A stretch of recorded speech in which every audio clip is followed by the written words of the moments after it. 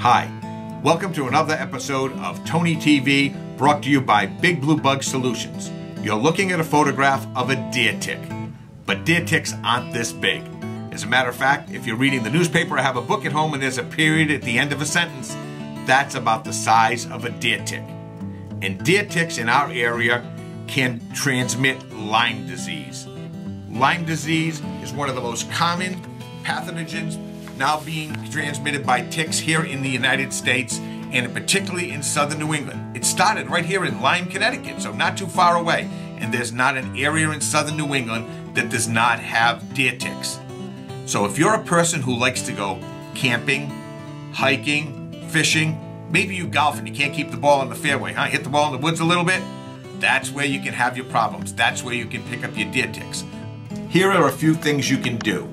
Number one is make sure when your children are outside and you're outside that you use a product with DEET in it. DEET is still the number one product on the market to use to prevent ticks from crawling on you, to repel ticks. And it also works well for mosquitoes too.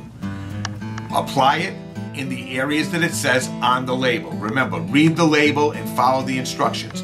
For children, especially young ones under the age of three, some applications are not even appropriate, or you want a product with DEET in it that may have a lesser concentration, maybe as low as 10% DEET, where on adults and older children you can use up to 35% DEET if you're spending a lot of time outdoors. Number two is make sure your property is protected.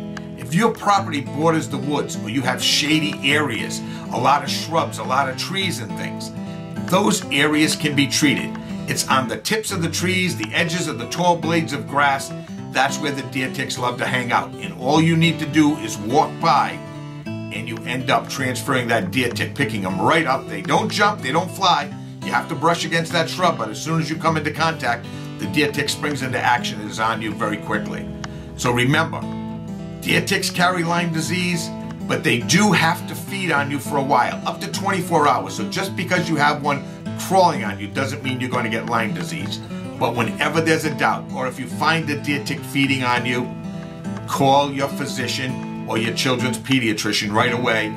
This has been another episode of Tony TV. And remember, you can follow us too on the Big Blue Bug Solution Show here on News Talk 630 WPRO and 99.7 FM on Saturdays from 9 in the morning to 10 in the morning.